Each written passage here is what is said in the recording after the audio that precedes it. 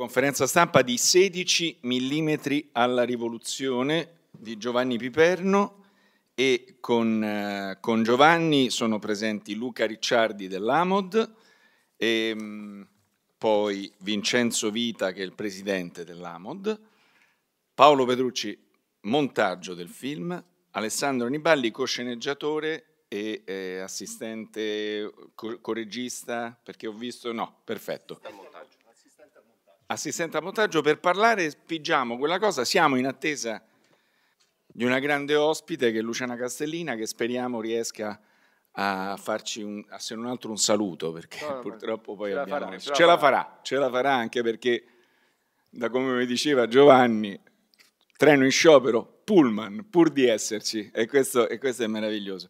Allora eh, Giovanni iniziamo subito con te perché mi è rimasta impressa una frase che tu pronunci durante la voce fuori campo eh, che accompagna questo bellissimo film di montaggio e non solo, e anche di, di ricordo e di, soprattutto di ricordi tra te appunto e Luciana Castellina perché c'è uno scambio di, di opinioni, di vedute, di un passato tutto supportato da, eh, dal materiale di repertorio, prevalentemente dell'AMOD se non sbaglio. Ecco, tu a un certo momento usi una frase che è un'immersione nell'archivio.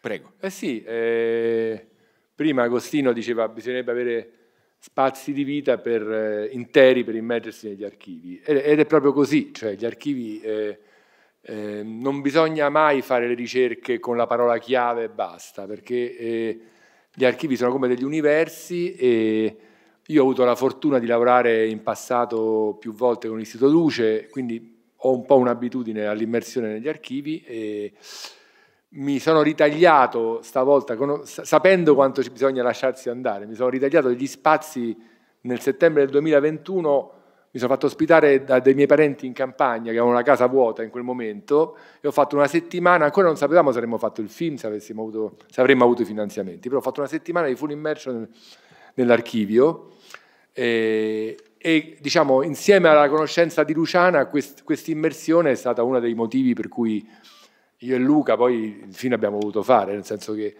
eh, io con, ho, la prima volta che ho collaborato con l'Amod era il 1991, se non sbaglio, per un cortometraggio sul, sulla deportazione degli ebrei romani nel 16 ottobre del 1943. Quindi, però io un'immersione così profonda nell'archivio non l'avevo mai fatta e quindi ho scoperto dei materiali così belli che meritavano di essere, di essere riportati alla luce, pur cercando, sempre d'accordo con Luca e con tutta la squadra, di non, di non fare un film nostalgico cioè questo comunque non voleva esserlo. È vero, si basa sui ricordi, ma Luciana, lo vedrete fra poco arriva, non è un personaggio nostalgico, no, no, è sempre nel presente. E, e, e, io ho cercato insomma, di, di, di, essere semplicemente il ragazzino, perché questo film è finanziato dalla Presidenza del Consiglio e dovrebbe andare a un certo punto pure nelle scuole, quindi è un film rivolto ai ragazzi di oggi, quindi ecco, io ho usato me stesso per fare il ragazzino. Diciamo.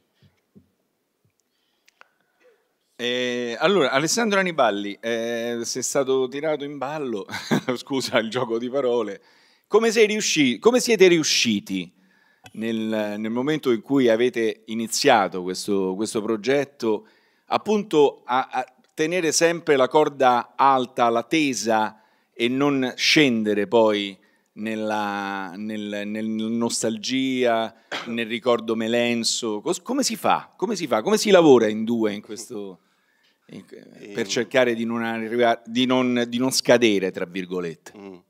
E, no, vabbè, noi abbiamo, eh, diciamo abbiamo prima lavorato sul, sull'intervista a Luciana, quindi abbiamo selezionato il testo, cioè quello che aveva detto, no?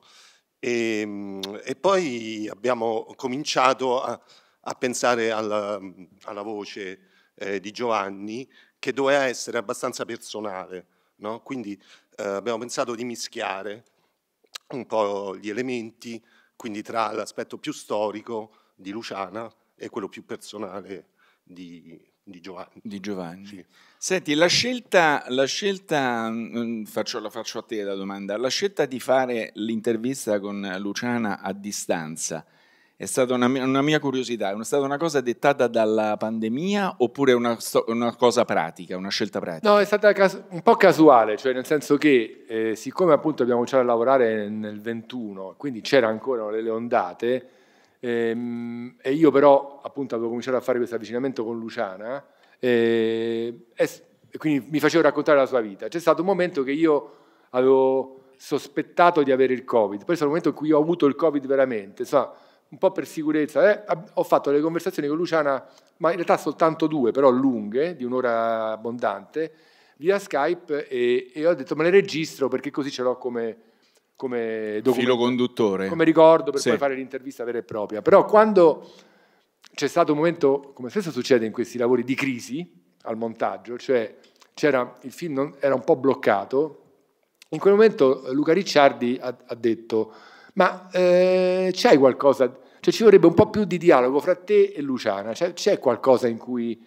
E io ho detto, beh, c'avrei le registrazioni Skype. E da lì poi eh, Luca ha detto, beh, usiamo queste, addirittura entra ancora più nel film tu, perché eh, con questo dialogo il film si vivacizza e diventa più empatico. E quindi a quel punto dei materiali che erano soltanto stati registrati come appunti sono entrati nel film, perché alcune cose che lei aveva detto durante le conversazioni Skype io non gliele avevo richieste nell'intervista e comunque non le aveva dette con quella spontaneità. E in più, lo dico senza, così, senza trucco e senza inganno, mi faceva proprio piacere mostrare che Luciana Castellina a 94 anni, quando le ho detto ho un po' problema a venire da te a trovarti, non so se c'è il Covid, che problema c'è? Facciamo una cosa online. Cioè, tac, si è collegata. Due volte l'ha fatta, ma proprio senza colpo ferire. Cioè, io ogni tanto ho dei problemucci col computer. Eh sì, infatti, no, ma tra l'altro... Sì, volevo, volevo, aggiungere che que- da, da, qui è nato proprio, proprio l'idea no, di, di, lavorare su questo rapporto tra, tra Luciana e Giovanni. E, Giovanni. No? e, quindi anche, per esempio, la prima domanda no, che, che gli fa Giovanni l'abbiamo, l'abbiamo tenuta, proprio perché doveva, in qualche modo, l'equilibrio che dicevi prima, e doveva esserci, eh, come dire, questa relazione doveva in qualche modo no? svilupparsi ed essere viva. Diciamo. C'è qualche curiosità dalla sala? Eccola qui. Antonello, mi raccomando. Eh. Io sono curioso eh, di conoscere la vostra reazione quando avete scoperto Davoli e Citti in giro in Vespa eh, ne parlavamo prima, che è una sequenza premorettiana. Ecco, vorrei sapere proprio la vostra reazione quando avete visto questo materiale, a meno che non lo conosceste già in precedenza. Io personalmente non sapevo neppure dell'esistenza di questo materiale. Allora, la cosa bella appunto eh, della ricerca d'archivio è che alle volte si finisce a trovare delle cose che non, si, non, si, non ci si aspettava di trovare. Eh, io il film... Mh, mm, eh, eh, dentro Roma di Gregoretti l'ho trovato quando lavoravo al film precedente del, dell'Istituto Luce Cipria. E eh, non ricordo adesso se perfino questo film invece di Giuseppe Ferrara, Io voto, tu voti, se l'ho trovato nella, nella prima settimana di immersione Ramod o se addirittura anche lì l'avevo già visto perché c'è stato un periodo in cui cercavo dei tram, ecco che è arrivata Luciana. Ecco Luciana Castellina, e... benvenuta, grazie. Che... Grazie. Ha il pullman per stare con noi. Grazie infinite. E... Quindi diciamo che eh, siccome io avevo così da ragazzo avevo un, un grande amore per Petroselli, nel senso che è stato il primo sindaco di Roma che ci ha dato la sensazione che finalmente la città potesse eh, cambiare. Eravamo è, tutti innamorati di quel sindaco. Ed è cambiata perché è lui che poi ha permesso a Renato Nicolini di fare quello che ha fatto, che è stata una, non è, una, non è una, una sciocchezza l'estate romana, cioè è stata imitata in tutto il mondo, è un modello che adesso è riprodotto in, in mille forme. Quindi, eh, per cui quando ho trovato quel materiale lì, in cui Davoli e Citti, che appunto come dice il nostro montatore, non c'era bisogno che il Torino Film Festival dedicasse addirittura un'intera diciamo, retrospettiva a un nostro personaggio minore, però vi ringraziamo per questo. Eh, gentilissimo dottor De Pascalis è stato veramente... E, e quindi diciamo a me di quel materiale non ho pensato tanto alla Vespa, che, che era comunque bella, ma non ho pensato neanche a Moretti. La cosa che mi aveva colpito era l'incontro con, eh, col sindaco, con Petroselli, perché appunto Petroselli, quando uno fa la ricerca può andare avanti e indietro rivedere i, i punti, aveva tutti dei piccoli tic che uno ha quando è veramente stanco. E lui sapeva che doveva fare il, il filmone elettorale per, la sua rielezione, la faceva, però si capiva anche il suo disagio, perché in quel periodo lì, eh, fino a tutti gli anni Ottanta, forse Craxi è stato il primo a cambiare in, questo, in questa direzione, i politici non avevano l'abitudine no, a, a, essere seduttivi con i media. E quindi lui era completamente a disagio, sta, doveva fare questa cosa, ma allo stesso tempo eh, la genialità del regista è che gli ha messo di fronte due diciamo, ex borgatari e quindi Petroselli comunque sentiva l'autenticità dei suoi interlocutori, anche se era tutta una messa in scena. E questo, era, è questa cosa, la cosa che mi ha emozionato più di tutte. Poi dopo la Vespa c'è stava tutta, ce l'abbiamo montata, però insomma è stato Petroselli che mi aveva toccato, così è nata. Io ricordo, io ricordo ancora le parole del mio maestro Luigi Proietti quando dice perché sapete che è morto Petroselli è morto de sindaco, eh, che, eh, sta, che, è una frase che secondo me mi è eh, rimasta eh, sì. impressa a distanza di 40 anni. Luciana Castellina, che a questo punto le do il microfono e veramente e attendiamo solo le sue parole. eh, per ora... Ah, sì, ok. Allora, in, allora vado direttamente alla produzione, volevo, volevo sentire Luca Ricciardi e questo progetto come, come ti è stato ti è stato portato e Ma più tipo che di portato, collaborazione avete avuto? Diciamo, c'è una, come tanti documentari, ha una strada un po' rocambolesca. Eh, noi nel 2020 avevamo pensato, immaginato in archivio, seguo le produzioni per l'archivio, di fare un film d'archivio fatto in tanti episodi, eh, con tanti registi anche importanti, c'era Virzì, Montaldo, c'era Valentina Pedicini. Volevamo fare un film d'archivio in cui ogni regista liberamente attingeva al nostro materiale per raccontare qualcosa del PC. Questo per l'anniversario del 2021. Questo film non si fece, non ci fu, diciamo, una, non, non, trovammo i finanziamenti, ci fu un po' una chiusura abbastanza forte della RAI, di tutte le strutture della RAI, e tra questi registi c'era anche Luciana Castellina, che però non era una regista, ma noi volevamo avere lo sguardo di Luciana. E io conoscevo Giovanni per diciamo, varie cose, abbiamo lavorato molto insieme in dei workshop di produzione, regia, così, e ho pensato che Luciana e Giovanni insieme potessero essere diciamo, un tandem efficace, no? anche per l'ironia di Giovanni. Il documentario non si è fatto, Giovanni però a differenza di tutti gli altri registi, è rimasto attaccato a quest'idea di fare un documentario certo. con materiali del PC, eh, su Luciana e poi e quindi ci siamo risentiti alla fine abbiamo trovato un bando strano, cioè un bando della struttura per gli anniversari della Presidenza del Consiglio che nel 2022 finanziava l'anniversario del PC che c'era stato nel 2021. Un'assurdità. Però abbiamo chiesto un finanziamento, l'abbiamo ottenuto e su questo abbiamo cominciato a lavorare insieme su questo progetto e poi appunto è stato interessante vedere come eh, da un'idea di fare un film sul PC intervistando Luciana Castellina, questo film, lavorandoci con il lavoro appunto di Giovanni e degli altri, è diventato un modo di Giovanni di scoprire un'eredità, eh, la sua personale eredità, no? quella che lui raccoglie dal PC attraverso il dialogo con Luciana, quindi qualcosa di molto più interessante e poetico. Allora adesso a questo punto se, la, se, se Luciana Castellina è, è pronta, sentirei la sua voce.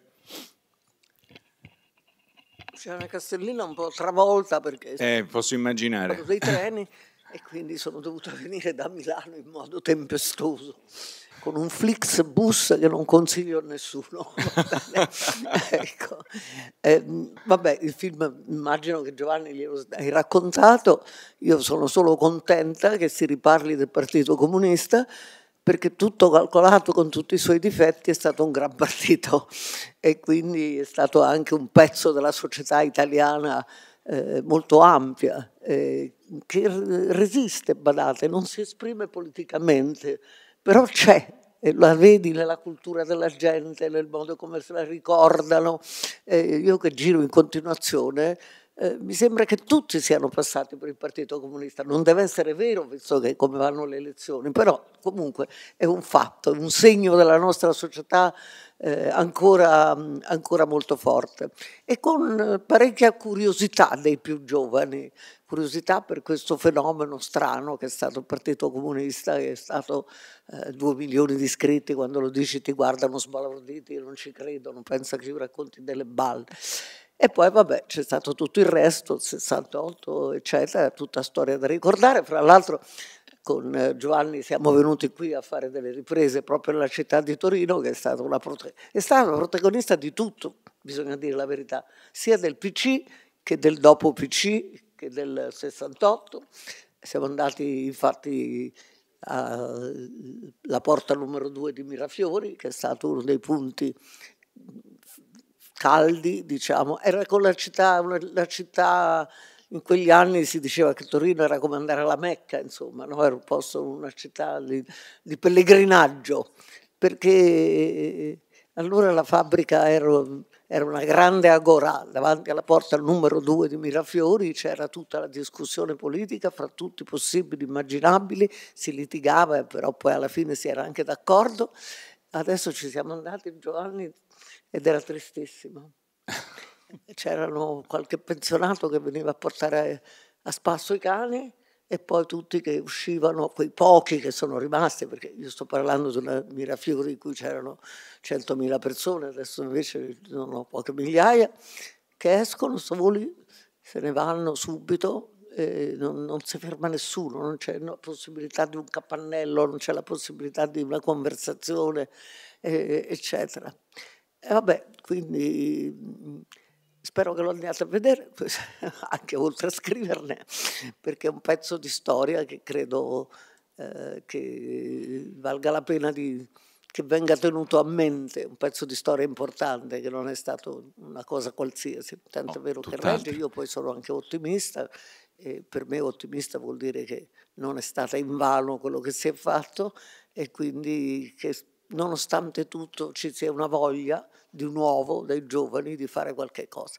Non gliene importa niente di andare alle elezioni, questo è sicuro. Ma questo non vuol dire, forse hanno pure ragione se posso, non lo dite in giro, ma insomma li capisco, ma però hanno voglia però di, sono di fronte a un mondo del tutto nuovo e quando sentono parlare di bonus eh, naturalmente sono, rimangono come dire, annoiati, ecco, perché certo che ci vorranno pure, ma insomma non sono certo quelli che potranno fare fronte alla crisi del mondo che c'è oggi in cui è destinato a cambiare tutto, fanno finta che sia una crisi congiunturale, poi passa, ma non è vero, perché non è solo la questione ecologica, è la questione che questo sistema non può continuare così, a produrre tante belle merci che tutte le sere vediamo alla televisione al supermarket e quello bisogna fare altre cose completamente, smettere di fare merci e si potrà essere molto più felici. E c'è un grande revival, badate, fra l'altro persino di Carlo Marx, che nessuno cita eh, perché non fate un film voi su Carlo Marx? Mi parrebbe bella idea. Prossimo Pensate, progetto, no, prossimo progetto di Giovanni. Pensa che sono dovuta andare per un libro che sto facendo per la casa editrice della CGL all'archivio di Stato. E nell'archivio di Stato ci sono dei grandi faldoni su tutti gli scioperi che ci furono dopo un grande evento che fu nel 1963, una grande manifestazione di edili che fu spezzata da un attacco, un assalto eh, della polizia, prigione, di tutto è successo e poi si scoprì che era della Gladio la provocazione, che stava facendo gli esperimenti per vedere se il Partito Comunista avesse fatto l'attacco al potere e dato l'assalto al Palazzo d'Inverno italiano, eh, come avrebbe dovuto comportarsi la polizia. E quindi la polizia facevano esercitazione alla Gladio, che erano i servizi segreti della Nato, in, in collegamento con quelli del SIFAR, attaccarono la folla degli edili, che era Piazza Apostoli, che è come una fettuccia stretta, insomma fu un fatto drammatico. Subito dopo ci furono infatti scioperi in tutta Italia di protesta per questo fatto. E sapete nei saldoni della polizia che cosa ho trovato? Eh, nei saldoni sì, conservati all'archivio, che ci sono tutta la corrispondenza in quei giorni fra il, um, la, la, eh, i prefetti e il Ministero dell'Interno.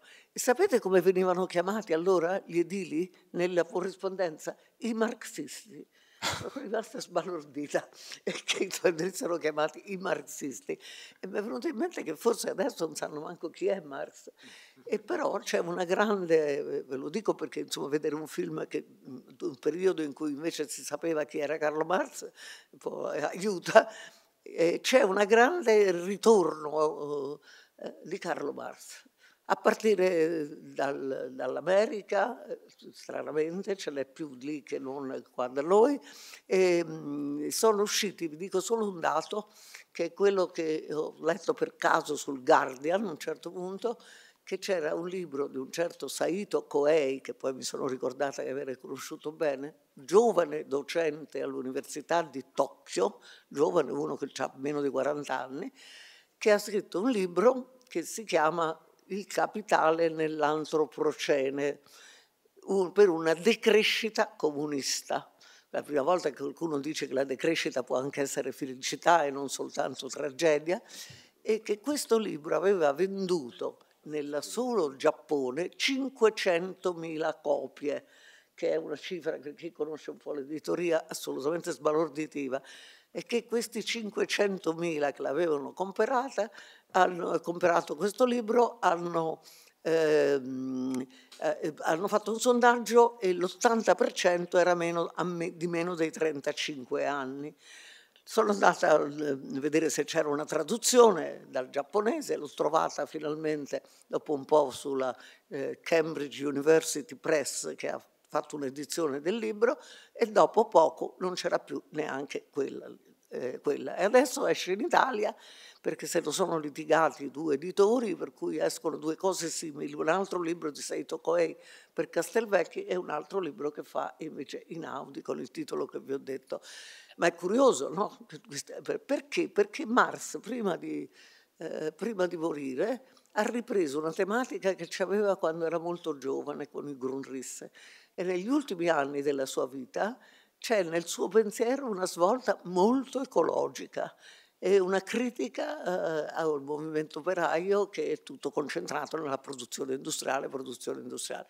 E sembra qualcosa che va bene per il nostro tempo, perché la problematica è questa, solo che ci ridanno un Carlo Marx che se ne occupava, che sono passati più di cent'anni ormai. E quindi Ecco, dico questo per dire che insomma questo film non, sa, non, è un film che parla dell'antiquariato, ma di una cosa che ha vita eh, interessante anche in questo momento. Grazie. Vincenzo Vita, abbiamo tre minuti. Io, Presidente dell'AMOD. Colgo questa sollecitazione di Luciana Castellina che ringrazio eh, di essere qui con Giovanni Piperno Luca Ricciardi e l'Archivio, Aurora Palandrani, Paola Scarnati, fondatrice dell'Archivio, Matteo Angelici, tanti altri, altri, forse Gabriella Gallozzi eh, da queste parti nel Consiglio di amministrazione hanno dato luogo a questo prodotto culturalmente interessantissimo che si regge su una storia raccontata con grande impegno e rigore. Ho visto un po' da vicino la crescita questo lavoro culturale e si regge su un'ottima regia, un eccellente producer e una figura straordinaria che è Luciana Castellini, io posso dirlo avendola frequentata come mia dirigente politica per un po' di anni, eh, raccoglierei questa eh, sollecitazione su Carlo Marx, perché sì. Carlo Marx è molto vario, eh, non è quello della vulgata che la terza internazionale ci consegnò, è molto interessante. E poi anche perché mi sono eh, accorto che tante persone eh, l'hanno abiurato senza averlo mai letto. Allora l'idea che potesse diventare oggi un argomento accanto a questo eh, film che avrà successo, faccio quello che non si Io. Sono convinto. È Io perché sono convinto. ha tutti gli ingredienti, perché è un po' un film, un po' un autofiction, un po' un racconto attraverso i materiali di archivio e solo i materiali di archivio rivisitati e riletti danno emozioni, l'ha detto prima Giovanni, che altre forme espressive non riescono a dare. Poi collaboratori di livello, insomma io sono stato della partita, essendo pro tempore presidente di questa bellissima fondazione e quindi sono lietissimo di essere qui con voi. Grazie. Grazie e in conclusione io voglio dire che all'interno del film c'è anche un momento di commedia all'italiana che potrebbe essere tranquillamente tratto da un film di Monicelli nel momento degli arresti di Luciana Castellina, Suor Vincenzina dice è tornata Luciana, che bello, che bello, che è veramente una sceneggiatura di Agi e Scarpelli. Grazie a tutti, 16 mm dalla rivoluzione. Devo dire che il film sì, uscirà sì, sì, eh, l'8 gennaio a Roma al Nuovo Sacher, Nuovo Sacher, e da lì poi cercheremo una distribuzione, Speriamo, se ci fosse un distributore in sala. Grazie, grazie.